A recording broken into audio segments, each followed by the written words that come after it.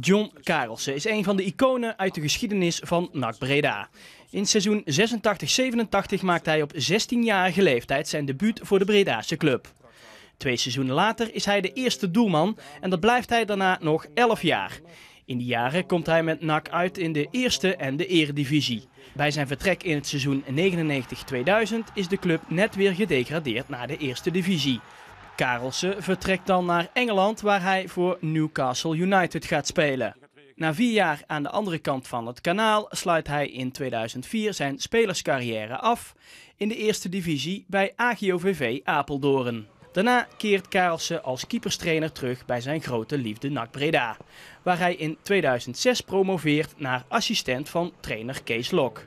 Die laatste houdt het maar vier maanden vol in Breda, waarna Karelsen hoofdtrainer ad interim wordt. In de seizoenen daarna is hij de assistent van Ernie Brands en Robert Maaskant. Als die laatste in 2010 naar Polen vertrekt, mag Karelsen het stokje samen met Gert Aan de Wiel overnemen.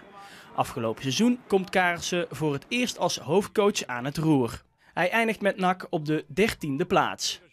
Het huidige seizoen verloopt tot nu toe stroef. De club haalt slechts 5 punten uit 9 wedstrijden en bungelt daarmee onderaan de ranglijst. Reden voor de directie om afscheid te nemen van één van de iconen van de club.